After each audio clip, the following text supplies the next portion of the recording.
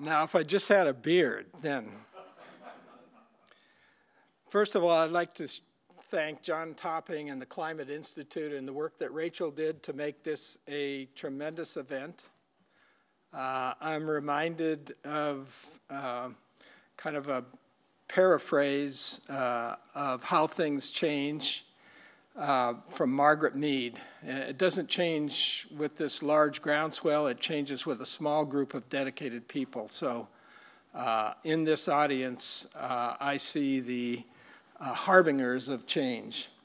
Um, I was head of a large NOAA research laboratory, uh, and about 25 years ago, I was sitting in Vice President Al Gore's office with Jim Baker, who's in the audience and we were talking about how bad the uh, effects of climate change were going to be, and we've lost those 25 years.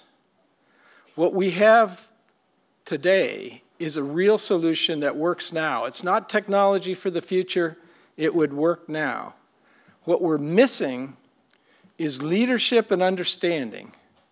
And uh, about uh, 10 years ago, when I was head of that research laboratory, uh, the numbers kept looking worse and worse. Uh, we really were not doing anything. Year after year, of these 25 years, uh, the numbers go up on the amount of carbon dioxide being released and the projections for the future. So I decided to work instead rather on what the problem is going to be to work on a solution. And since I had spent my entire life in weather, I understood something that isn't super easy to convey, but I hope you all walk out of here with an understanding. Basically, AC power is local. You can't get it very far. It's not just losses, it's also reactive power. Uh, it's also keeping it synced uh, for AC. So if you want to be able to have a large area where you can move power, or energy rather, really, uh, from areas where the wind is blowing or the sun is shining or where it's needed, uh, you really need a technological capability that exists, the high voltage direct current network. So what I've said is we're really at a point uh, that we need leadership. Have we had leadership in the past? Uh, indeed we have. There's a wonderful scene in the uh, Nothing Like It in the World, Stephen Ambrose's book about the transcontinental railroads, where President Lincoln says, we need to bring this continent together and we need the transcontinental railroads. That's basically the 19th century. Uh, then there's President Eisenhower, who led us in World War II uh, at D-Day. Uh, President Eisenhower basically had the same vision that for commercial and military reasons, we had to have a super network of highways, our interstate highways. And uh, the, the uh, bill itself, uh, which uh, uh, Al Gore's father played a big role in, uh, was called the Commercial and Military Interstate Highway Network. We are at that juncture again. We're in another century. The challenges are different but we must rise to meet those challenges. What are the challenges? Well, the way I like to say it is there's two huge challenges and there's a, a big opportunity. The challenge is this. This was done at my lab at Boulder, Colorado by uh, Dr. Peter Tans. Uh, essentially, uh, our current plans, uh, I also was at uh, Paris and uh, I wasn't one of the negotiators, but I worked with the uh, US team there. And I think everybody understood that we had to take a first step. The Chinese say a journey of a thousand miles starts with the first step. But our current direction, the most realistic estimates take us to a, a peak in emissions at 2050. So anytime somebody says to you, oh, well, uh, we've got, you know, uh, 20 years, by 2040 we'll be down to this. Uh, they're usually talking about the US, they're not talking about globally. And right now, there is no credible effort worldwide that legitimately is going to reach this point. Uh, there are commitments uh, which are fairly um, as much as we could get at Paris, uh, but this is essentially where we're going and what we get. So what we see here on this graph is how much, the dark line is how much we're emitting, which ends up being uh, a lot because as soon as you reach the peak, you still have to bring it back down. And the total uh, concentration of CO2, according to Dr. Tans' calculation, ends up at about 740 or 750 parts per million. We have not seen that since the Eocene. At the time we were at 750 parts per million, there was no ice in Antarctica, no ice in Greenland. That's a 230 foot sea level rise if that happened again. Fortunately, it takes a long time for ice to melt when it's a giant ice sheet. But the one thing I've learned in 40 years of looking at the geophysical system that we know as Earth is that it has big surprises and it can move a lot faster uh, than you might think. The second problem that we have is a vulnerable electric system. Look at Puerto Rico today. Uh, think about our electric system. Uh, those of you who've read Ted Koppel's book realize there's very large threats due to cyber attacks, uh, but there's also solar storms. Uh, we really have a, a, threat of a solar storm uh, the one in thousand year solar storm on average happens once a century. So in this century, we could have a solar storm that brought down the electric systems, not just of the US, uh, but electric systems around the world. Uh, we have an immediate threat. Um, the, uh, some uh, people believe that the uh, so-called hydrogen bomb that Kim Jong-un tested uh, a year and a half ago really was designed to be a giant uh, electromagnetic pulse bomb, which uh, at very high um, exposure rates can totally destroy a large area of an electric system. The bigger the area, the harder it is to come back. So if you uh, get a small area, we dealt with Hurricane Katrina, uh, able to bring in stuff from the outside. We're having a tough time with Puerto Rico. Uh, but some of these large EMP blasts done in space uh, could take out a very large area of the United States for electricity for months and months. And think about uh, no gas stations, their pumps don't work. Supermarkets run out of food in a few days you don't have pure water. Think about a world where people are jammed together tightly as we are in our current population. I think the biggest key to why we're in this situation is we have not dealt with the centrality of electricity power to our livelihood. Uh, we see planes go down occasionally, and the FAA requires uh, all these uh, really uh, redundant, uh, super um, uh, good systems to keep those planes in the air. Here we are with our electric system, which is crucial to all of us uh, and our families living, and we haven't had the same attitude of requiring huge safety. So these are two great problems. And I said something about an opportunity. What is an opportunity? An opportunity is uh, this idea of a national grid of high voltage direct current lines basically would say that not only the building of this line itself, but our energy sources, instead of coming from places like Venezuela, uh, Iraq, Russia, our energy sources would be internal. It means something on the order, we did some uh, fairly crude calculations, but it's something on the order of 7 million permanent jobs that are now elsewhere to build and maintain a system like this. So this is the idea, an interstate, a network. And you say, well, China's doing it, Europe's doing it. Not really. What they're doing is point-to-point -point lines. They've got a wind farm here.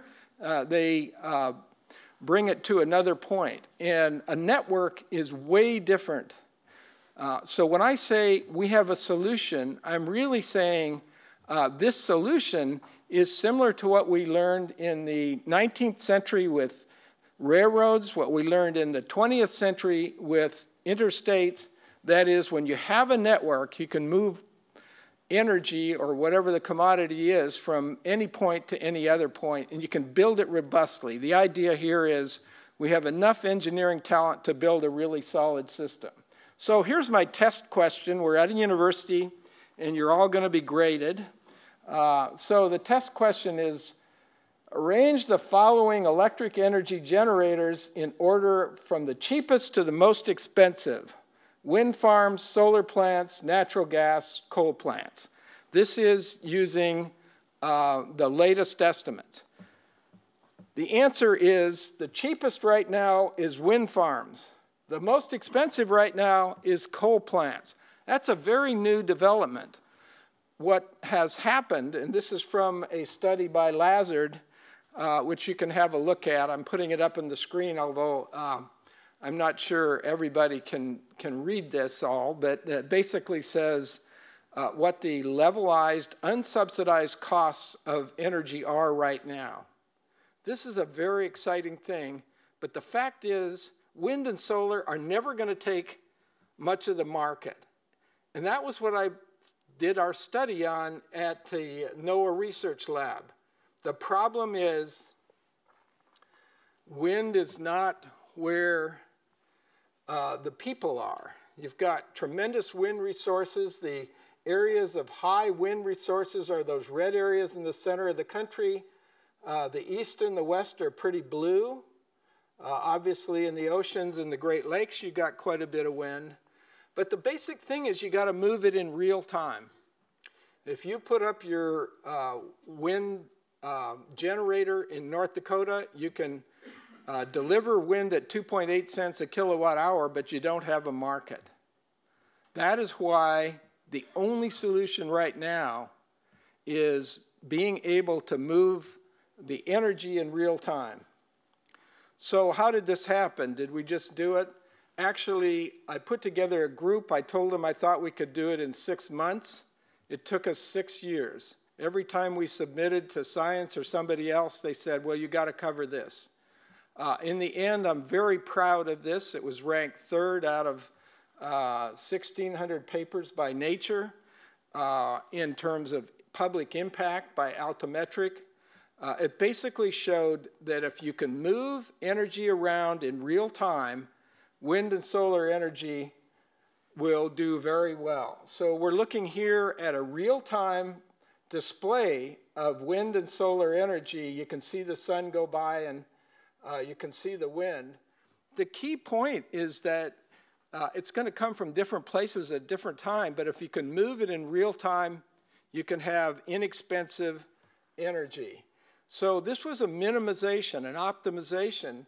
Here's a picture of where you put the resources. You've got the green areas, which are wind farms. You've got the black lines, which are the transmission lines. It's hard to see, but there's some red things in there, which are the solar plants. This system delivered the following. It delivered, um, we're comparing it kind of with uh, 2000 and, um, 2012. Uh, at that time, it was close to 10 cents a kilowatt hour, and we were putting out 2,100 uh, uh, billion tons of, of carbon dioxide.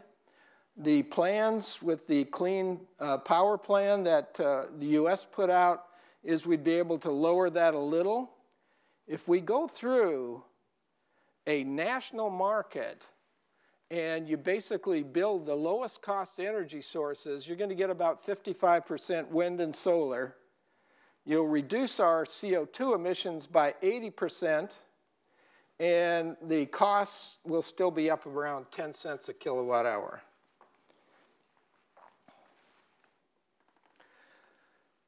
How should we build it? Well, um, the key thing that I want to say is we have enough knowledge to build a electric system that is very robust. It's sort of like uh, if you have this network, you design it. One way to get robustness is to put it underground. It has some advantages. uh, but uh, there are a technology that's developed over a period of time, uh, both above ground and below ground, high voltage DC. I wouldn't pretend to design it on the fly. That thing that I showed you is a hypothetical network along uh, interstate highway lines.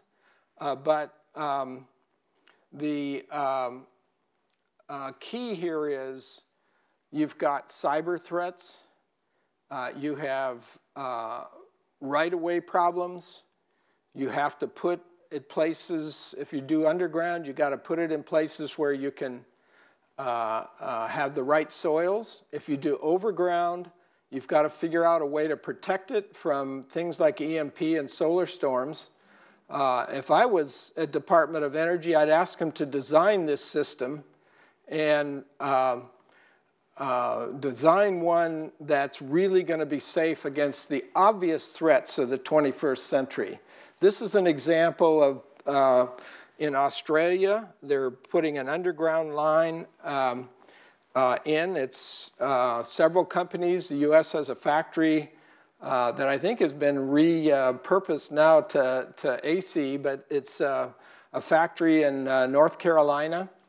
Uh, the real key here is this is not just what we need to do to protect our people from climate change, to protect us from the horrendous possibilities of uh, loss of the electric system, you know, Puerto Rico is just really a teeny preview of that.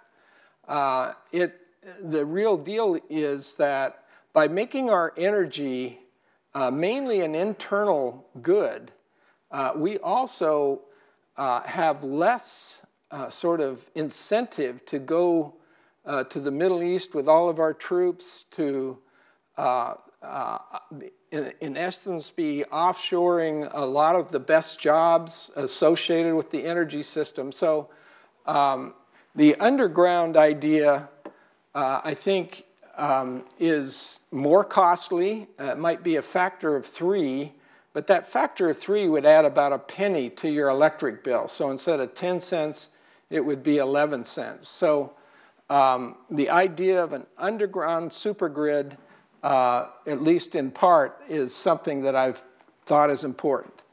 We do more than just use electricity for um, toasters. We also drive.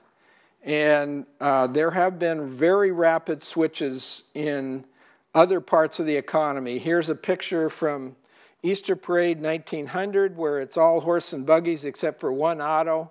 And then 13 years later, all autos. We need to convert our transportation sector, our space heating sectors, our electric sectors. So uh, summary is this. We have